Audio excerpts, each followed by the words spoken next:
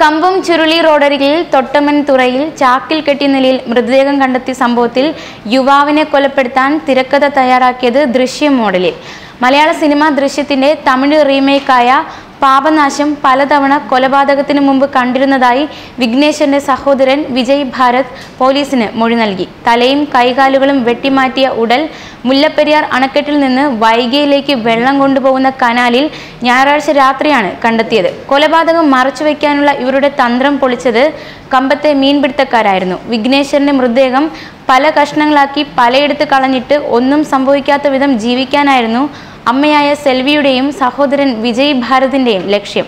വിഘ്നേശന്റെ ഉടൽ ഉപേക്ഷിക്കാൻ അമ്മയും സഹോദരനും കമ്പം ചുരുളിപ്പെട്ടിൽ ഞായറാഴ്ച രാത്രി പത്തരയോടെയാണ് എത്തിയത്. ഈ സമയം മീൻ പിടിക്കാൻ പുഴയോരത്തിരുന്ന രണ്ടു പേർ ഇവരെ കണ്ടു. ചാക്കുകെട്ട് വെള്ളത്തിൽ ഉപേക്ഷിക്കുന്നതിൽ സംശയം തോന്നിയ ഇവർ ബൈക്കിന്റെ നമ്പർ ശ്രദ്ധിക്കുകയും വിവരങ്ങൾ ചോദിക്കുകയും ചെയ്തു. ഭർത്താവ് മരിച്ചതിന് വീട്ടിൽ നടത്തിയ പൂജകളുടെ അവശിഷ്ടങ്ങളാണെന്നാണ് അവർ മറുപടി നൽകിയത്. ചാക്കുകെട്ട് വെള്ളത്തിലേക്ക് വലിച്ചെറിഞ്ഞെങ്കിലും വെള്ളമൊഴുക്ക് കുറവായിരുന്നു. ഇവർ മടങ്ങിപ്പോയതിനു ശേഷം മീൻപിടുത്തക്കാർ ചാക്കുകെട്ട് തുറന്നു നോക്കുകയും ഒരു മനുഷ്യന്റെ ഉടലാണെന്ന് തിരിച്ചറിഞ്ഞപ്പോൾ പോലീസിനെ വിവരമറിയിക്കുകയും ചെയ്യുകയായിരുന്നു. ഇറച്ചി വെട്ടുന്ന കത്തിയാണ് വിഘ്നേശന്റെ തലയും കൈകാലുകളും വെട്ടിമാറ്റാൻ ഉപയോഗിച്ചത്. തല കൈകൾ കാലുകൾ എന്നിവ അറുത്തുമാറ്റിയ ശേഷം ആന്തരിക അവയവങ്ങളും നീക്കം ചെയ്തു. ഉടൽ വെള്ളത്തിൽ ഉപേക്ഷിക്കുമ്പോൾ പൊങ്ങി വരാതിരിക്കാനാണ് ഇങ്ങനെ ചെയ്തത്. കൊലപാതകം എങ്ങനെയാവണം?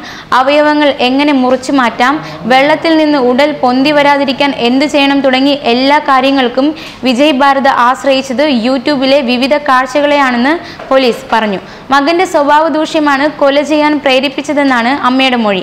കൊലപാതകം നടത്തിയത് എങ്ങനെയെന്നും എങ്ങനെയാണ് മൃതദേഹം ഉപേക്ഷിച്ചതെന്നും പോലീസിനോട് ഇവർ വ്യക്തമാക്കിയിരുന്നു. കൊലയ്ക്ക് ശേഷം തലയും കൈകാലുകളും മെഷീൻ വാൾ ഉപയോഗിച്ച് അറുത്തുമാറ്റി ഉടൽ കനാലിലും തലയും കൈകാലുകളും വീടിനടുത്ത് കിണറ്റിലുമായി തള്ളുകയായിരുന്നു. പ്രതികളുടെ മൊഴി അനുസരിച്ച് പോലീസ് കനാലിലും കിണറ്റിലും ആളുകളെ ഉപയോഗിച്ച് വിശദമായ തിരച്ചിൽ നടത്തി. തുടർന്നാണ് ചാക്കിൽ കെട്ടിയ നിലയിൽ രണ്ടിടത്തു നിന്നും മൃതദേഹാവശിഷ്ടങ്ങൾ കണ്ടെത്തിയത്. വിഘ്നേശന്റെ അമിത ലഹരി ഉപയോഗത്തെ ചൊല്ലിയുണ്ടായ തർക്കം കൊലപാതകത്തിൽ കലാശിച്ചെന്നാണ് അമ്മയുടെയും സഹോദരന്റെയും കുറ്റസമ്മതമൊഴി. അമിതമായി ലഹരി ഉപയോഗിക്കുമായിരുന്ന മകൻ തന്നെയും രണ്ടാമത്തെ മകനെയും ഉപദ്രവിക്കുമായിരുന്നെന്നും അമ്മ മൊഴി നൽകി. പ്രതികൾ പറഞ്ഞത് മാത്രമല്ലാതെ കൊലയ്ക്ക് മറ്റെന്തെങ്കിലും കാരണമുണ്ടോ എന്നും പോലീസ് അന്വേഷിക്കുന്നുണ്ട്. ന്യൂസ് ഡെസ്ക് മലയാളി വാർത്ത.